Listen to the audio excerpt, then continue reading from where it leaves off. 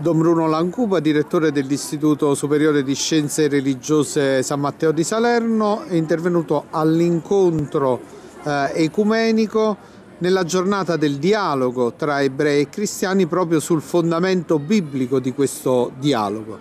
La Bibbia, nella prima parte, quella che noi chiamiamo Antico Testamento, ci accomuna sostanzialmente con gli ebrei Lì possiamo trovare il fondamento comune sia riguardo a chi è Dio sia riguardo a chi è l'uomo. Io mi sono soffermato in maniera particolare sull'antropologia, cioè sulla visione dell'uomo a livello biblico, l'uomo nella sua grandezza, l'uomo nella sua miseria. E questa giornata apre anche la settimana del eh, dialogo tra i cristiani, quindi eh, l'auspicio di Gesù che tutti i cristiani siano una cosa sola. Eh, in questi ultimi anni si lavora molto per trovare punti di incontro, di intesa, cammini comuni che possano portare la carità cristiana al di là delle differenze che pure esistono tra le diverse confessioni.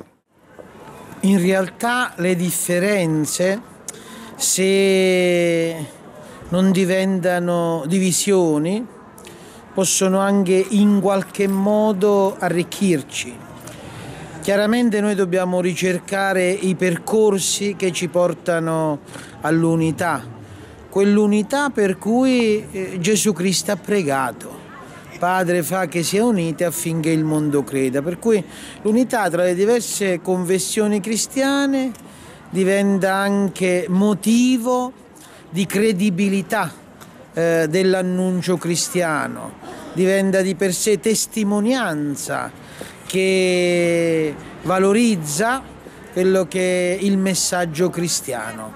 E allora senza nessun appiattimento, ma con atteggiamento costruttivo, noi dobbiamo andare gli uni incontro agli altri per cercare un'unità che, come diceva Don Donino Bello, diventa una sorta di festa delle differenze, diventa una sorta di sintonia di quelle che sono le differenze, un banchetto delle differenze.